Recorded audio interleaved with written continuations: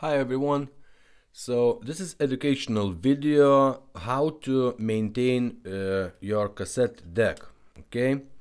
Uh, many people does this mistake uh, when they buy uh, the cassette uh, radio, uh, even after even serviced one, and they don't use the cassette. you have to remember you have to you have to play the cassette time to time doesn't matter you're listening or you're not listening the cassettes but uh, to keep it uh, the deck itself in good condition you have to play the cassette time to time. I will explain you what ha what's uh, happening when you don't play. So this is a belt uh, uh, this belt is running the cassette mechanism okay? One second this is how it how how it looks new okay it's all around it's soft and uh, here is a build how it looks after a while when the cassette is been not used.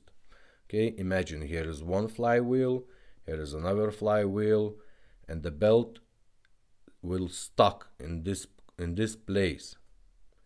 And it's not flexible enough. Look at this one it's it's supposed to be a round one. So when you when you after a year or two year you start playing the cassette, this belt will, will not do the job.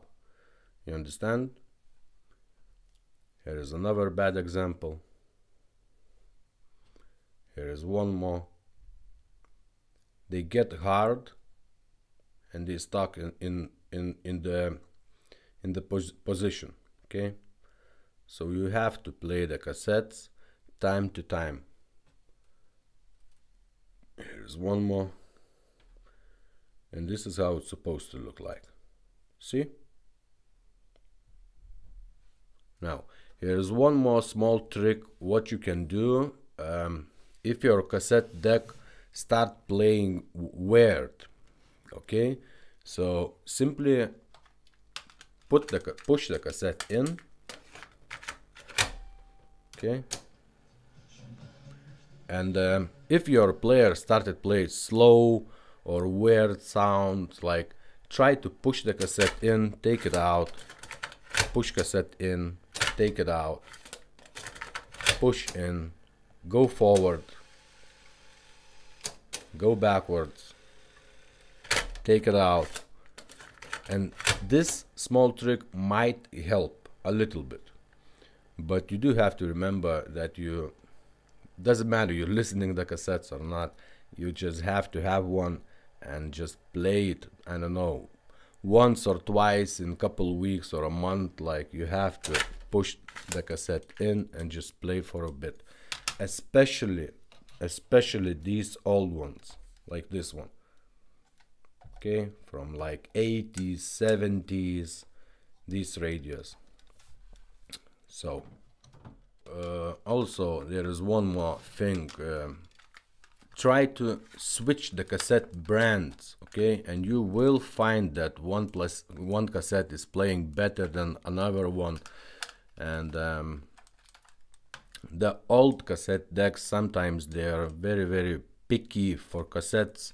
So some cassettes don't play very well and don't sound very well. So my advice would be just try to find the brand. It works the best for your cassette deck um, especially for very old ones. Uh, ima imagine the cassette mechanisms and motor inside is weak old like 30 40 years old. It's like it's it's a bit tired. So uh, so pick the cassette brand which works best for you. And um, yeah that's it that's all I want to say. And um, thumbs up.